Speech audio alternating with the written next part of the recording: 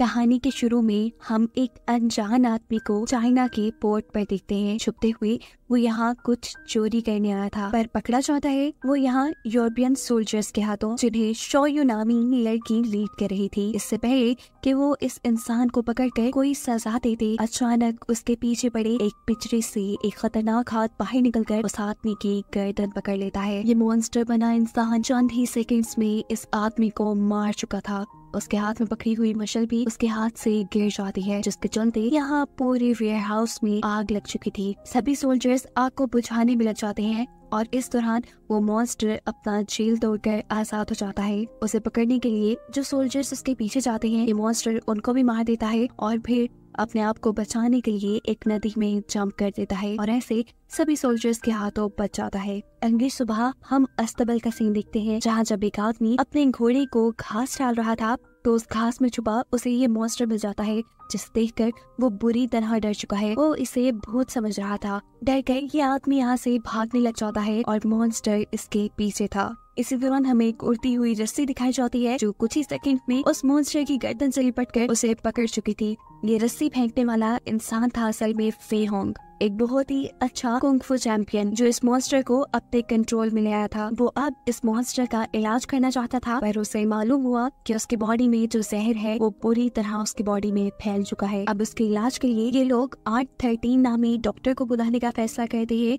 जो यूरोप से अपनी मेडिकल की स्टडी करके आई थी। दूसरी तरफ़ बारह हम शोयू को देखते हैं, जो अपने बॉस के पास है। बॉस उसे अपनी एक्सपेरिमेंट के लिए लोगों को लाने पर फोर्स कर रही है, क्योंकि बॉस ने पास्ट में शोयू की मोम पर बहुत से एहसान किए थे, जिसका ना चाहते हुए भी शोयू बदला उतार रही थी। ये जगह एक लैब थी। यहाँ पर बहुत से बेगुना चाइनीज़ लोगों पर एक्सपेरिमेंट्स किए जाते थे और साथ ही बहुत से केमिकल्स भी यही तैयार हो रहे थे। यहाँ से निकलकर शोयू पोर्ट पे आ जाती है, जहाँ पर फेहोंग भी डॉक्टर को लेने के लिए आया था। यहाँ किसी गलत फहमी के चलते फेहोंग के दोनों स्टूडेंट शोयू से लड़ने लग जाते हैं, जिस लड़ाई को रोकने के लिए इसी लड़ाई में एक तीसरा आदमी भी टांग लड़ा देता है। मसला खराब देखते हुए फेहोंग यहाँ आकर सब कुछ रोकता है और गलत फहमी को दूर करने की कोशिश करता है। और इसी सब के दौरान मौके का फ़ायदा उठाते हुए शो यू फेहोंग का घोड़ा लेकर भाग जाते हैं। भागते हुए उसके मोम का नेकलेस नीचे गिर चुका था, जो फेहोंग का एक स्टूडेंट उठा लेता है। है अब ये लोग आठ थर्टीन को लेकर अपने घर की तरफ़ बढ़ते हैं। फेहोंग का स्टूडेंट जो घोड़े की जगह इस बकी को चला रहा था, वो थक जाता है और रास्ते में उनकी गाड़ी को रोक देता है। उनकी गाड़ी एक हॉस्पिटल के आगे रुकी थी,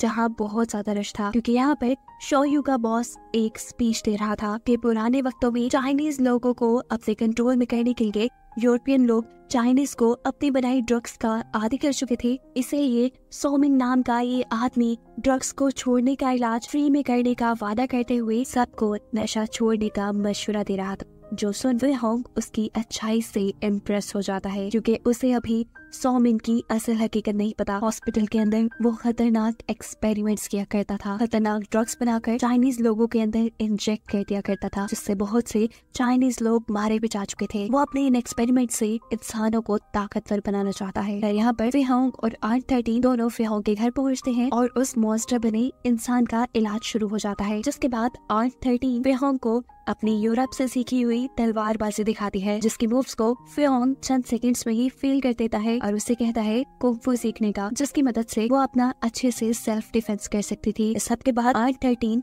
सोमिन के हॉस्पिटल में जॉब अप्लाई करने के लिए जाती है। ये वही आदमी है जिसके हॉस्पिटल में अजीबो गरीब एक्सपेरिमेंट्स होते हैं। वो इस वक्त शोयू को उस मॉन्स्टर बने इंसान को ढूँढने का कह रहा था, जिसका फेहोंग इलाज कर रहा है। इतने ही उनके ऑफ़िस में आठ थर्टीन आ जाती है, जिसकी सीवी देखते ही सुमन उसे जॉब दे चुका था। इसके बाद आठ थर्टीन शोयू से बातें करने लगते हैं और उससे रिक्वेस्ट करते हैं एक पेशेंट के इस हॉस्पिटल में कुछ टेस्ट करने के लिए। और इसे शोयू को पता चल जाता है की जिस आदमी को वो ढूंढ रही है। असल में, वो फे होंग के कॉलेज में है।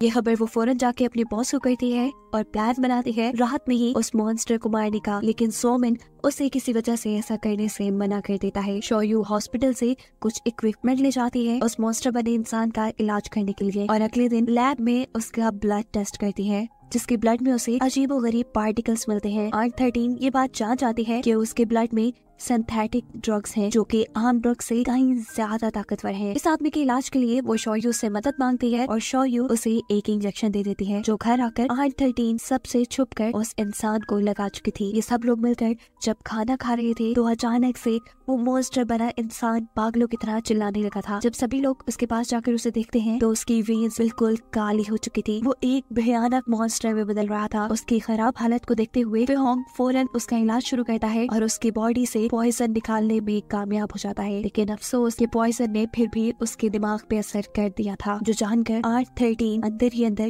गिल्ट महसूस करने लगी कि ये सब उसकी वजह से हुआ है। दूसरी तरफ़ सोमिन अपने एक्सपेरिमेंट्स में बिज़ी था, जो अब कामयाब भी हो रहे थे। उसके बनाए हुए ड्रग से उसके टेस्ट सब्जेक्ट्स यानी इंसान, बहुत ही ज़्यादा ताकतवर बनते जा रहे थे। इस टाइम भी जिस इंसान पे उन्होंने एक्सपेरिमेंट किया था, वो इंसान ताकतवर होके यहाँ एक डॉक्टर को मानने ही वाला था कि सोमिन पीछे से उसे ही शूट करके मार देता है। अगले दिन फिहोंग का बर्थडे था जिसे प्लान के मुताबिक उन्होंने आठ थर्टीन के हॉस्पिटल के पास वाले रेस्टोरेंट में सेलिब्रेट करना था। आठ थर्टीन उसका यहाँ वेट ही करती रह जाती है और फिहोंग एक बच्चे को किडनेप होने से बचाने में फंस गया था। बच्चे को बचाने के बाद वो गुड्डो से लेटा है। और फेहोंग की कुंफू स्किल्स देखते हुए उसे हराने के लिए ये गुंडे कुछ ड्रग्स का इस्तेमाल करके बहुत ही ताकतवर हो जाते हैं। फेहोंग तो उन्हें इन ड्रग्स के बावजूद भी हरा देता है। पर मसला ड्रग्स का था जो उन्होंने ली थी। उसे लगता है कि ये ड्रग्स भी यूरोपियन लोग चाइनीज़ को दे रहे हैं, जिसकी खबर करने के लिए वो अथॉरिटीज के पास जाता है। लेकिन उसकी कोई बात नहीं सुनी जाती, क्योंकि अथॉरिटीज को ड्रग माफिया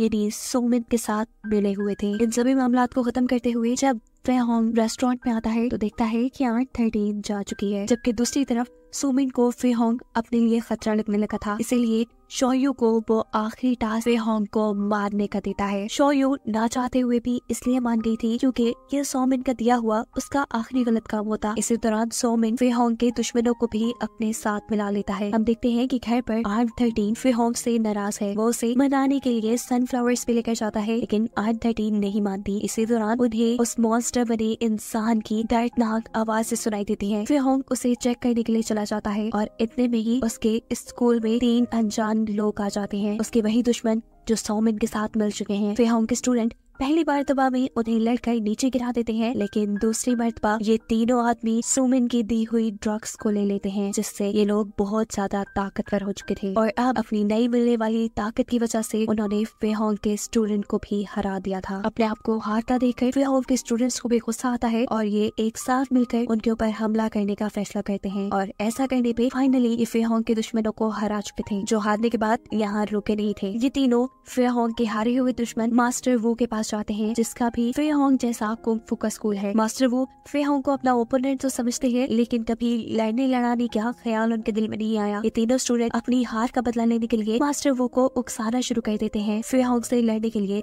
लेकिन मास्टर वो ऐसा नहीं करना चाहते थे, इसीलिए उनका एक स्टूडेंट उनकी चाय में उन्हें वही ड्रग्स मिला कर दे देता है, जो उनको सौ मिनट देती थी। पीने के बाद वो भी गुस्से में फेहोंग से लड़ने के लिए निकल जाते हैं। फेहोंग अभी भी उनसे लड़ना नहीं चाहता था, लेकिन ड्रग्स के असर में आए, मास्टर वो को कुछ समझ नहीं आता, और वो धड़ाधड़ फेहोंग के ऊपर हमला करते हुए उसे हराने में कामयाब हो जाते हैं, और चुपचाप यहाँ से चले भी जाते हैं। कमज़ोर फेहोंग अभी उठा ही था कि उसे मारने के लिए यहाँ पर शोयू भी आ चुकी थी।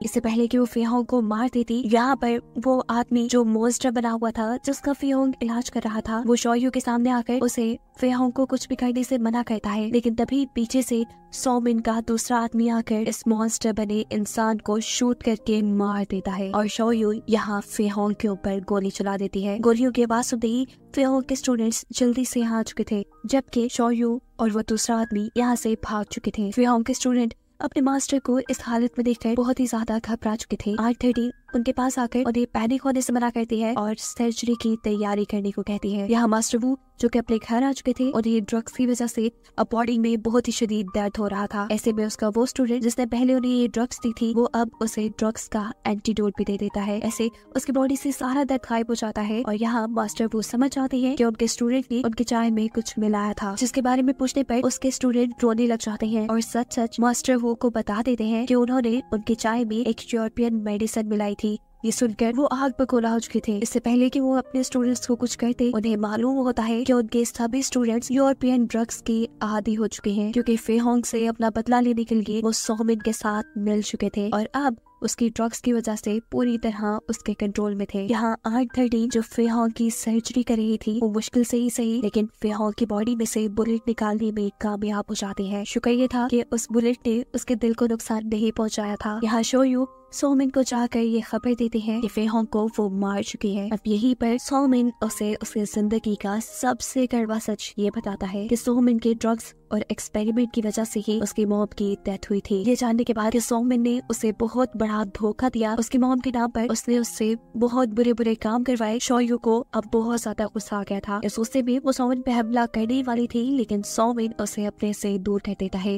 वो अब फेहों के घर आ जाती है, क्योंकि वो चाहती थी कि सोमिन उसे मारेगा ज़रूर। और अगर कहीं वो सेफ़ रह सकती थी तो वो फेहोंग का घर ही था। यहाँ फेहोंग के स्टूडेंट से बहुत सारा खाना मांग के खाती है और आर थर्टीन के बारे में पूछती है, जो स्टूडेंट उसे बताती है कि आर थर्टीन तो हॉस्पिटल गई है। फेहोंग को सर्जरी की वजह से बहुत तेज बुखार था। उनके मेडिसिन लेने के लिए वो इन स्टूडेंट्स को बताती है कि आठ थर्टी वहाँ खतरे में है। ये स्टूडेंट्स आठ थर्टी को बचाने के लिए वहाँ जाने को तैयार थे, लेकिन शोयू इन तीनों को बताती है कि सोमिन ने वहाँ तरह तरह के ट्रैप्स लगाए हुए हैं। चारों तरफ़ सिक्योरिटी है, वहाँ तक जाना इतना आसान नहीं, लेकिन ये लोग फिर भी नहीं डरते। यहाँ आठ थर्टीन जो चुपके से फार्मेसी के अंदर से मेडिसिन चुराने आई थी, गलती से उसका हाथ एक खुफिया दरवाजे के बटन पे लग जाता है। दरवाज़ा खुलते ही जब वो अंदर जाते हैं तो देखते हैं कि वहाँ पे बहुत सी ड्रग्स रखी हुई हैं, जो आगे सप्लाई करने के लिए बिल्कुल रेडी थी। अभी वो यही सब देख रही थी कि अचानक पीछे से सौ मिलाकर उसके ऊपर बंदूक बाँध देता है। यही हॉस्पिटल के बाहर हम देखते हैं कि फिर के तीनों स्टूडेंट भी पहुँच चुके हैं। उनमें से बहुत ज़्यादा बीमार होने का ड्रामा करता है, ताकि उन्हें हॉस्पिटल में एंट्री मिल सके। लेकिन अंदर आते ही गार्ड्स इनको पहचान लेते हैं। मजबूरन इन्हें लड़ना पड़ता है और यहाँ लड़ाई का माहौल देखकर यूरोपियन सोल्जर्स भी एंट्री कर लेते हैं। इतने सारों से तो ये अकेले लड़ भी नहीं सकते थे, इसीलिए सरेंडर करना इन्हें ज़्यादा बेहतर लगता है। और इससे पहले कि सोल्जर्स इन्हें पकड़ कर ले जाते। यहाँ कोई हवा में उड़ते हुए काफ़ी सोल्जर्स को नीचे गिराते हुए एंट्री करता है। और ये और कोई नहीं, बल्कि जख्मी फेहंग है। उसके साथ साथ शोयू भी यहाँ उनकी मदद के लिए आ चुकी थी क्योंकि वो हॉस्पिटल को बहुत अच्छे से जानती थी। इन सभी सोल्जर्स को हराने के बाद ये लोग दो टीम्स में डिवाइड हो जाते हैं आर थर्टीन को ढूँढने के लिए। यहाँ इनका सामना सोमिन के लोगों से भी होता है, लेकिन वो बड़ी ही आसानी से उन्हें हराते हुए आगे बढ़ जाते हैं। फिहोंग अब उस कैद खाने तक पहुँच गया था, जहाँ पे बहुत से चाइनीज़ लोगों को एक्सपेरिमेंट के लिए रखा गया था। उसके सामने उसकी तलाश भी थी, यानी आर थर्टीन जिसे जंजीरों से बांधा गया था। वो आर थर्टीन को बचाने के लिए भागता है, लेकिन हम यही देखते हैं कि मास्टर वो, जो कि सोमिन के साथ मिल चुका है, वो उसके ऊपर पीछे से एक बहुत बड़े टायर से हमला करता है। फिहोंग यहाँ जख्मी होने के बावजूद भी मास्टर वो से अच्छे से मुकाबला करता है। दूसरी तरफ़ फिहोंग के स्टूडेंट सारी इलीगल ड्रग्स को तबाह करने का काम शुरू कर रहे थे, लेकिन यहाँ पर आ जाता है, मास्टर वो का एक स्टूडेंट वो अपने आप को उसी ड्रग से इंजेक्ट करके बहुत ही ताकतवर बना के इनसे मुकाबला करता है। इस मरतबा इससे लड़ना इन तीनों के लिए मुश्किल हो रहा था, लेकिन फिर ये सब जब दोबारा एक साथ मिलकर लड़ने का फैसला करते हैं तो उसे हरा ही देते हैं। उसको हराने के बाद ये लोग यहाँ पे ड्रग्स को सहाय करना शुरू कर देते हैं। ड्रग्स को सहाय होता देखकर सोमिन का सेक्रेटरी आकर उस लड़के के ऊपर गुस्सा करता है, जिसे उसने इन्हें रोकने का काम दिया था। उससे वो लड़का उस सेक्रेटरी को ही गर्दन तोड़कर मार देता है। उसे अपनी हार का इतना गुस्सा था कि उसे बर्दाश्त नहीं हुआ। वो किसी तरह अपने सामने वाले यानी फेहों के सभी स्टूडेंट्स को हराना चाहता था, इसीलिए इस मरतबा वो ड्रग्स अपने दिल में इंजेक्ट कर लेता है। इस मरतबा वो जब सबके सामने आता है तो सभी का उससे लड़ना मुश्किल हो रहा था। लेकिन जैसे तैसे करके वो उसे मार ही रहे थे। वो इतना इंजर हो चुका था कि खुद भी अब उसे के स्टूडेंट का मुकाबला करना मुश्किल लग रहा था। ऐसे में वो दोबारा अपने अंदर ड्रग्स को इंजेक्ट करता है और इस मरतबा ओवरडोज होने पर खुद ही मर जाता है। दूसरी तरफ़ फेहों जो मास्टर वो से लड़ रहा था, वो देखता है की मास्टर वो ने भी अपने आप को ड्रग्स से इंजेक्ट किया हुआ है। वो इस मरतबा फेहोंग को घर वाली उसकी हार के लिए टीज भी रहा था, लेकिन फेहोंग जिस बात में नहीं आता, और किसी तरह उसे चैन के ज़रिए बनाए हुए अपने बहुत बड़े पंच से मारकर अपने से दूर कर देता है, लेकिन ड्रग्स के असर में मास्टर वो दोबारा खड़े हो जाती है। उससे में वो वही चैन उठा लेता है, जिसकी मदद से फेहोंग ने उसे मारा था। वो फेहोंग को इस चैन की मदद से गले से पकड़ लेता है। इस बुरे तरीके से कि जैसे वो पैरालाइज हो गया था। कैद खाने में मौजूद सब लोग जो ये लड़ाई देख रहे थे, वो फेहोंग को बचाने के लिए मास्टर वो की जंजीर को पकड़ने की कोशिश करते हैं। लेकिन कोई भी ज़्यादा कुछ नहीं कर पाता। फेहोंग गिर चुका था। वो हारने के करीब था। लेकिन फिर वो यहाँ एक रोते हुए बच्चे को देखता है। उसे ख्याल आता है